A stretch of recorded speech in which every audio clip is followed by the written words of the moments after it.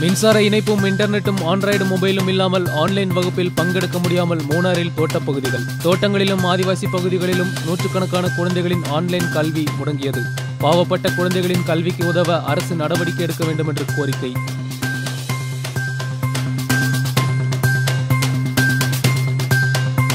மழை வெள்ளத்தில் சேதமடைந்த மூணார் உடுமலைப்பேட்டை மாநில சாலையில் பெரியவாரை பாலத்தின் வேலைகள் இறுதிக்கட்டத்தில் தொண்ணூறு சதவீதம் பாலத்தின் வேலைகள் நிறைவு செய்யப்பட்டது.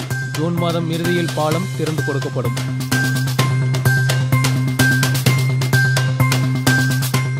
மலப்புரம் வாலாஞ்சேரியில் பத்தாம் வகுப்பு மாணவியான தலித் மாணவி தீ வைத்து தற்கொலை. ஆன்லைன் வகுப்பில் பங்கெடுக்க முடியாததால் மனம் நொந்து தற்கொலை செய்ததாக பெற்றோர்கள். வாலாஞ்சேரி மாங்கேரியை சேர்ந்த பாலகிருஷ்ணன் என்பவரின் மகள் தேவிகா என்பவர்தான் மரணமடைந்தது.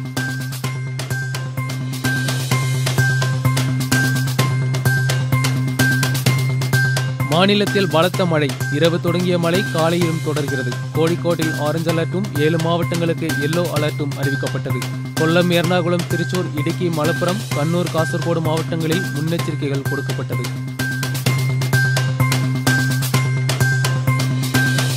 அடிமாலி கல்லார்குட்டி அணைக்கு அருகில் கட்டுப்பாட்டை இழந்த லாரி கடைக்குள் இடித்து நுழைந்தது. சாலை வேலைகளுக்கு தாருடன் சென்ற லாரி தான் விபத்துக்குள்ளானது. ஆட்கள் ஓடி தப்பித்ததால் பேராபத்து தவிர்க்கப்பட்டது. கடை முழுவதுமாக சேதமடைந்தது.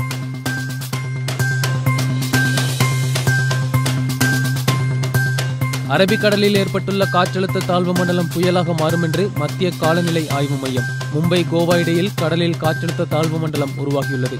கேரள கடலோர பகுதிகளில் கடல் சீற்றம் அதிகரித்தது. கரையோர பகுதிகளில் மணிக்கு ஐம்பத்தி ஐந்து கிலோமீட்டர் வேகமுள்ள காற்றிற்கும் கடல் தாக்குதலுக்கும் வாய்ப்புள்ளது. கடலில் மீன்பிடிக்க தடை விதிக்கப்பட்டுள்ளது.